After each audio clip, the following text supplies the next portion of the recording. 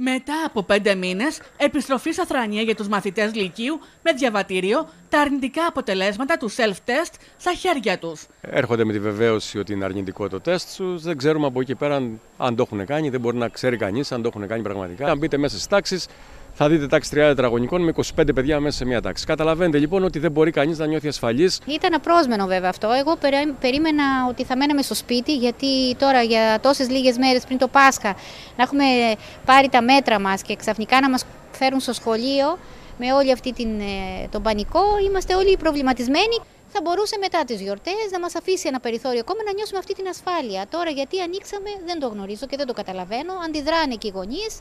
Ε, Καταιγισμός από τηλεφωνήματα, δηλαδή, ρωτάνε, μα γιατί, μα είναι, είναι δυνατόν.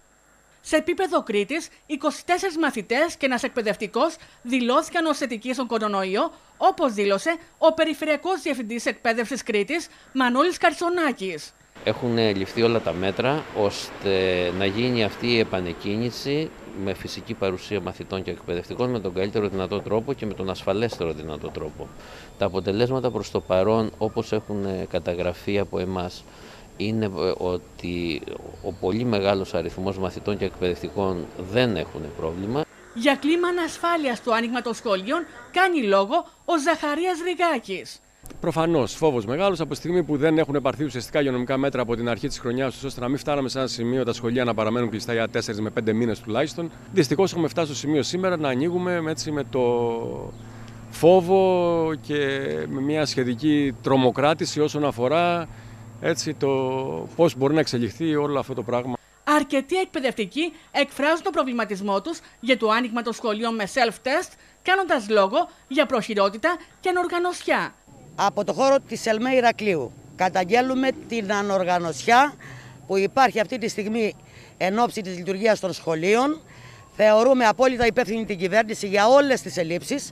Είμαστε κατά του δόγματος της ατομικής ευθύνης. Βεβαίως είναι ανεμβολίαστοι και οι εκπαιδευτικοί και οι μαθητές είναι, δεν έχει ληφθεί η μέρημνα για ένα σχολίατρο, δεν έχει ληφθεί μέρημνα για ένα ψυχολόγο με την πρώτη μέρα της έναρξης λειτουργίας των σχολείων. Μάλιστα, υπήρξαν περιπτώσεις γονέων οι οποίοι κατέθεσαν εγγράφο σε ενστάσεις τους για τα self-test. Ενστάσεις, εγγράφους, ότι αρνούμαστε να, να κάνουν τα παιδιά μας το τεστ και, και σήμερα ζήτησαν γραπτός γιατί εγώ αρνούμαι να δεχτώ τα παιδιά χωρίς το τεστ. Υπάρχουν παιδιά που δεν έχουν έρθει σχολείο, όπως ε, υπάρχουν και γονείς οι οποίοι από ό,τι ακούμε από διάφορα σχολεία έχουν διαμαρτυρηθεί γιατί δεν θέλουν να μπουν στη διαδικασία του να κάνουν αυτό το τεστ στα παιδιά τους. Το αποτέλεσμα του πρώτου self-test θα επιδεικνύεται για την προσέλευση στο σχολείο έως Τετάρτη και του δεύτερου την Πέμπτη.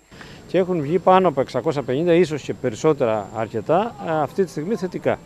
Η διαδικασία είναι, ε, έχει αναρτηθεί λεπτομερώς Όσοι είναι θετικοί εν συντομία πηγαίνουν σε μια δημόσια δομή από αυτές που αναγράφεται στην πλατφόρμα και γίνεται επιβεβαίωση του self-test.